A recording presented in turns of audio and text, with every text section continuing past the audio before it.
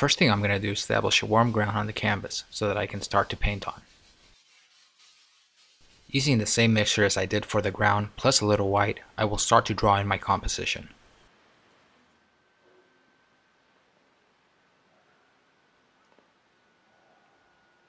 After my sketch, I start adding washes indicating light and shadow on the picture. Now it's time to add color. I start with the sky first, adding a mixture of white and Prussian blue for the horizon, and getting a little darker blue as I move upward in the sky.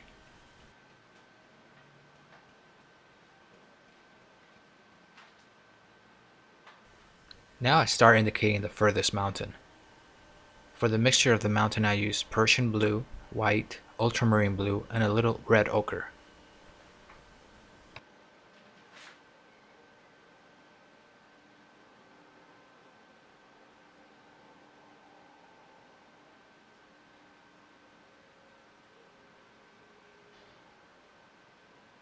To bring the next mountain forward, I add a little bit of ultramarine blue and red ochre to make the mountain a little warmer and a little darker.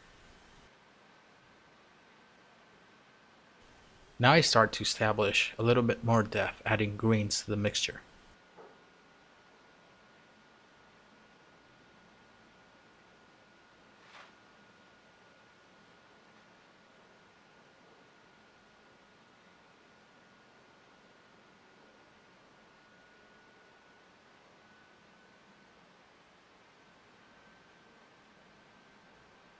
As I start to bring the trees forward, I start getting darker in value and adding some alizarin crimson to my greens.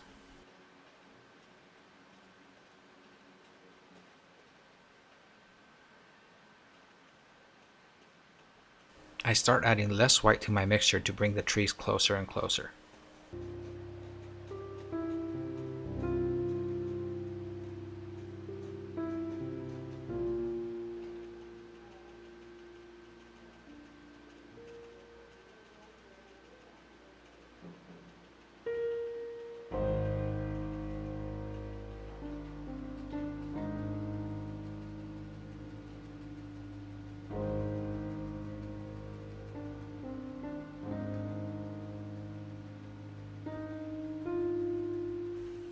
For the foreground I'm using my darkest value greens, which is a mixture of green, alizarin crimson, Prussian blue, and some burnt umber with some Van Dyke brown.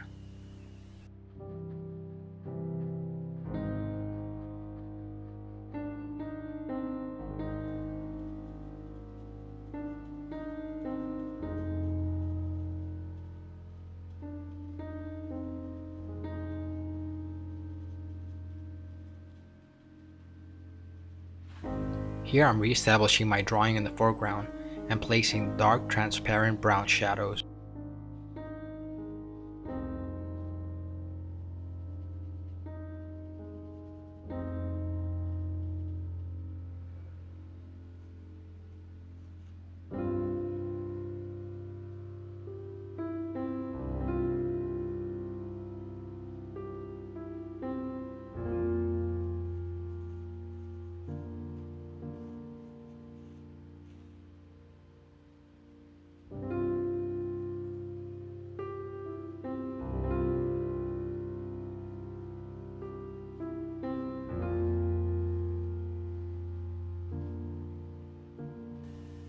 And for the light I'm adding thicker opaque paint.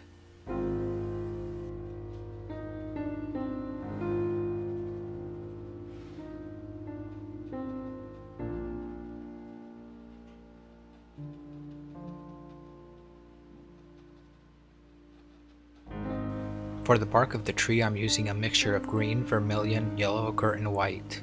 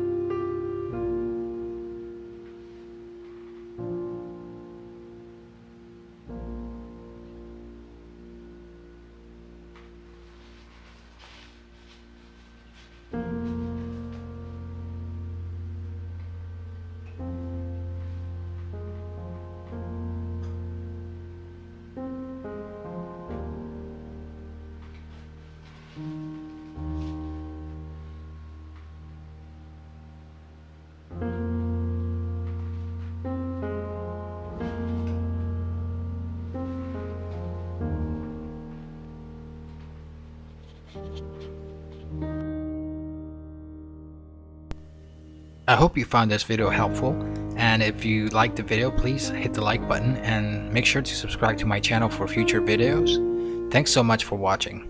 Until next time.